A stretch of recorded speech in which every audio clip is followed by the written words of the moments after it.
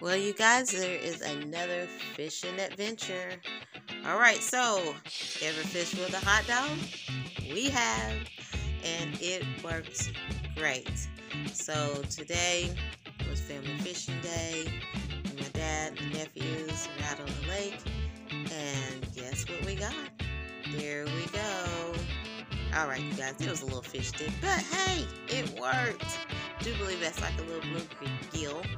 Um, That was with a hot dog, Spencer.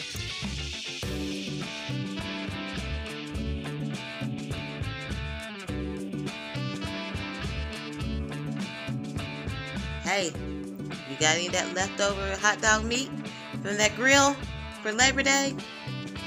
Pop it on a hook, you guys. Until next time, see ya.